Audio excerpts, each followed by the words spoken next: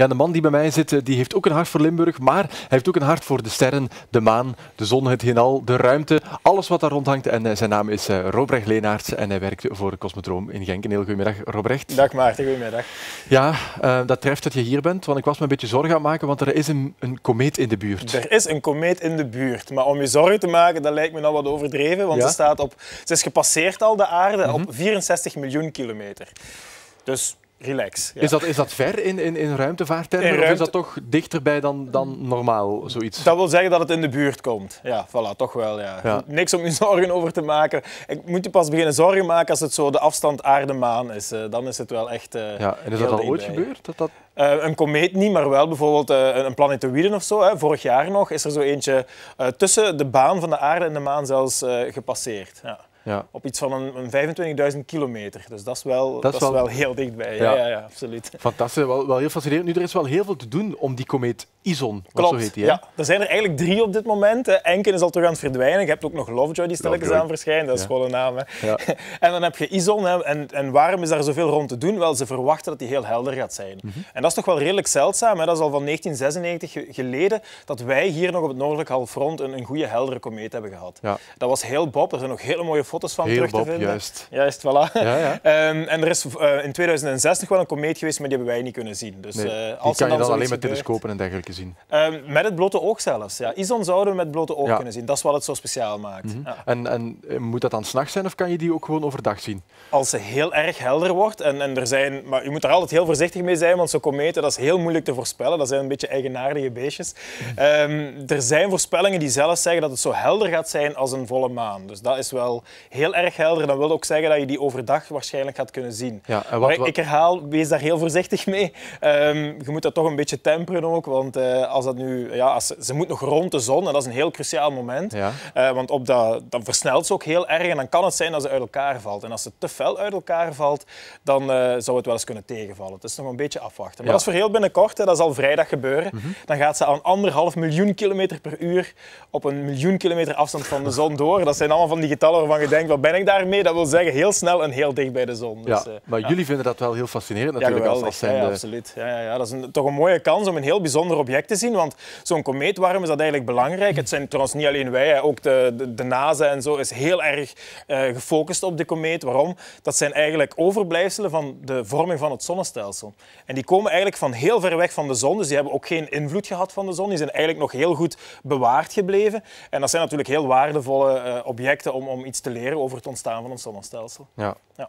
Fantastisch. En de... Trouwens, nog ja, belangrijker. Want, ons, ja, ik ga het er allemaal uitgooien. Ja, Die uh, kometen, um, er is een periode geweest in de vorming van de aarde dat je heel veel uh, inslagen had van, uh, van meteorieten, maar ook van, van kometen. En Wacht, zelfs... nu moeten we het toch even uitleggen. Want je hebt meteoren, je hebt Juist. meteorieten, je hebt kometen. Misschien kort even... Oké, okay, ik ga uitleggen wat wat is. een meteor is eigenlijk een, een steen of ijzer uit de ruimte. Ja. en je ziet die zo, je kan dat zien, een vallende ster, dat is eigenlijk een meteor. Met zo'n staartje zo. Ja, ziet je zo een, een lichtflits voorbij komen. Dat is heel kort meestal.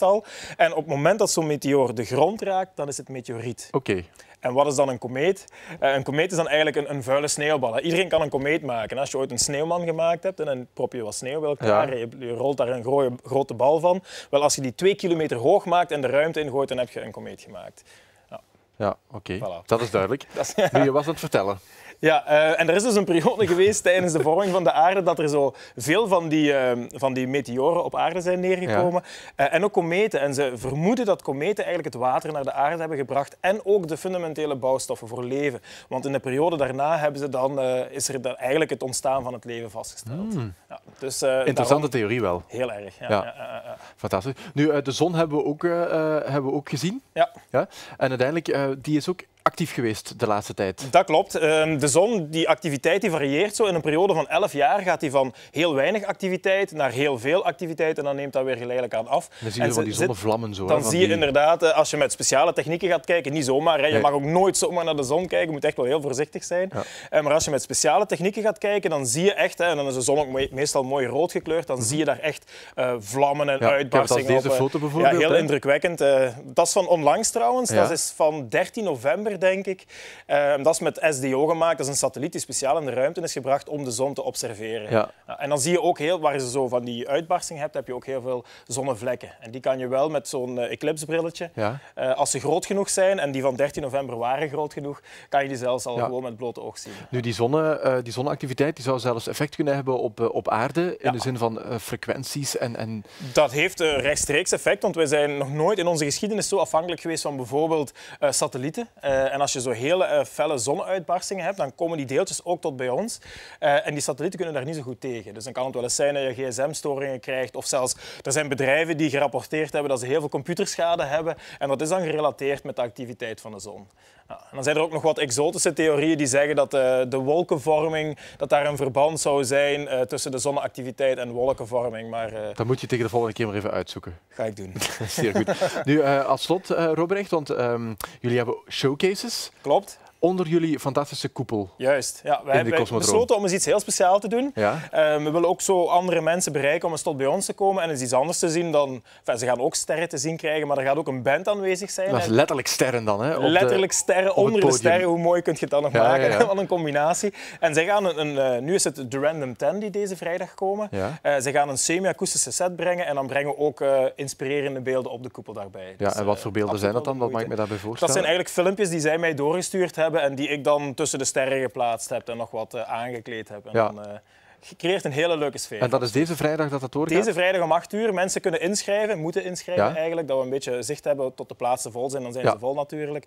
Het kost 10 euro, dus dat lijkt me niet te veel voor een uur eh, iets heel bijzonders eh, mee te maken Mhm. Ja. bij in de Cosmodrome. En hoe kunnen mensen inschrijven? Kunnen via eh, de website vinden ze alle informatie. eh, ofwel cosmodroom.genk.be of op ons telefoonnummer kunnen ze ons ook bereiken. Ja, zeer goed. Misschien nog eventjes vertellen wanneer we die, die komeet Ison kunnen zien. Ehm, ze, zal, ze gaat nu te dicht bij de zon komen, hè, want ze gaat dan overmorgen die, die, die sling maken rond de zon. Maar vanaf 6 december ga je hem 's morgens vroeg kunnen zien en vanaf 8 december kan je hem zelfs 's avonds zien. En dat zou normaal gezien, als ze niet te fel uit elkaar valt, kan je ze met het blote oog eh, En dan moet het helder zijn, geen wolken. want- Liefst, ja, want anders is het hopeloos. Trouwens, voor wie, wie meer over kometen wilt weten, eh, Stijn Meurs komt binnenkort eh, op 12 december bij ons een lezing geven. Stijn en de staartster, dus dat is misschien ook nog een leuke tip. ja, de man van satellietsusie komen. gaat gewoon langskomen over kometen. Komt misschien langs gevlogen, ik weet niet hoe hem naar bij ons komt. Of Zeer met de goed. auto. Ja, daarvoor moet je 12 december naar de Cosmodrome Moet ze komen. komen kijken. Voilà. Robrecht, dankjewel. Fijn dat je er weer bij was. Ja.